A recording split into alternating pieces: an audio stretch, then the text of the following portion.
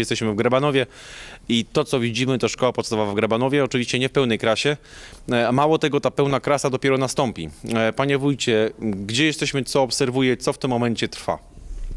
Dokładnie tak jak pan redaktor zaznaczył, jesteśmy w Grabanowie, szkoła podstawowa. E, Jesteśmy przy rozbudowie szkoły podstawowej.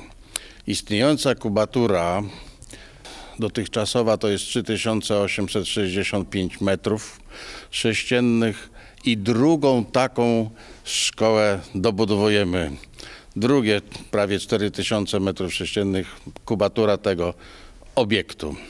Dlaczego to robimy? Otóż w wyniku reformy oświatowej, gdzie zniknęły z mapy gimnazja, siódma, ósma klasa przeszła do podstawówek i tutaj po prostu jest za mało pomieszczeń, za ciasno. Chcemy, żeby ta szkoła pracowała czy funkcjonowała przy systemie jednozmianowym. Małe salki, doszła siódma, ósma klasa, jest ciasno i byliśmy przed dylematem. Robimy dwie zmiany.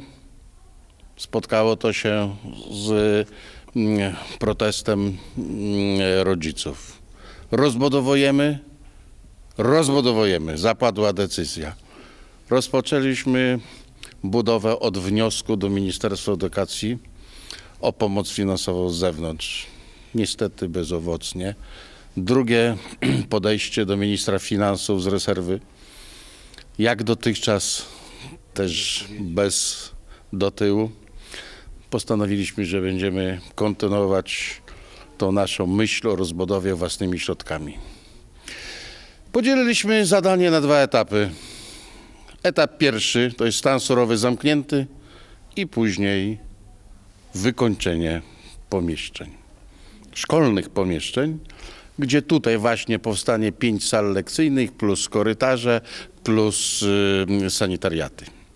Pierwszy etap, czyli stan surowy zamknięty, wcale niewysoka kwota, bo 700 tysięcy złotych, żeby to wykończyć. Potrzeba kolejnych, kolejnego miliona. Zresztą mamy zapisane w budżecie. Przy tej rozbudowie sal lekcyjnych postanowiliśmy jednocześnie rozbudować salę gimnastyczną. Sala gimnastyczna wprawdzie tutaj jest, ale możemy ją zakwalifikować do mini sali gimnastycznej. Chcemy powiększyć.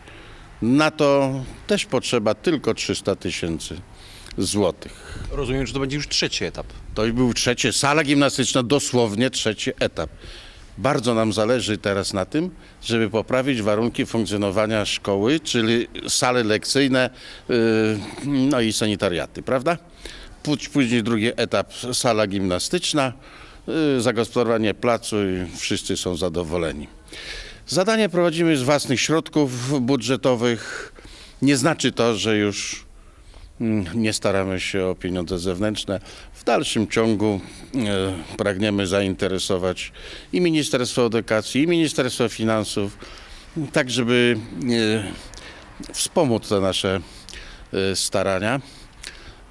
Sięgaliśmy nawet do KPRM-u.